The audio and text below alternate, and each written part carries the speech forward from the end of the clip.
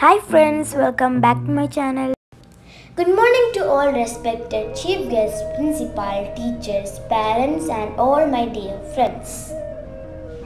My name is Sharmeen. Today is 15th August and we have gathered here to celebrate the 76th Independence Day. At first, I wish you all a very happy Independence Day. On 15th August 1947, India became independent from the British rule. Independence Day is our national festival. The whole of India celebrates Independence Day by hoisting the national flag.